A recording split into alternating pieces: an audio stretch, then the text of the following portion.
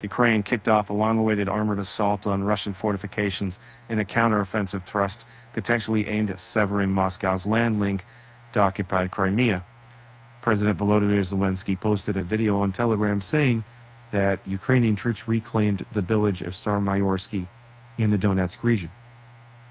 Wheat prices rose after Ukraine said a Russian submarine fired two Kalibr cruise missiles at port infrastructure in Odessa killing one person and damaging equipment at a cargo terminal. A reduced list of attendees at a summit with African leaders hosted by President Vladimir Putin in St. Petersburg also highlighted the Kremlin's diminishing power as his war drags.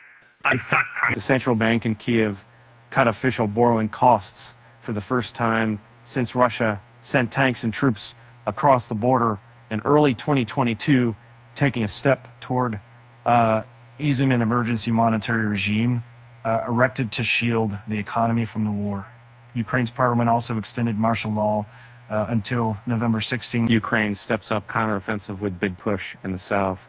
Uh, weak cons uh, after Russian missile strike on Odessa region port.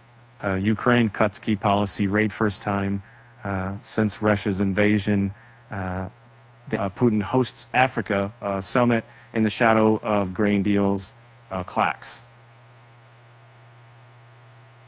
And uh, to rebuild, uh, Ukraine needs women to return home podcast.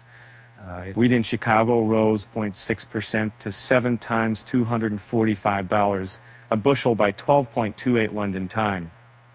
Russia's Federal Security Service also said it denied passage through the Kerch Strait to a great ship coming from Turkey after finding traces of explosives on board According to the RIA News Service, our Russia Defense Minister Sergei Shoigu visits North Korea. The Ukrainian Foreign Minister Dmytro Kuleba is in Africa this week to discuss the collapse of the grain deal. Russia-Africa summit underway in St. Petersburg. What end of Ukraine grain export deal means for world quick take. What sanctions on Russia have and haven't achieved quick take.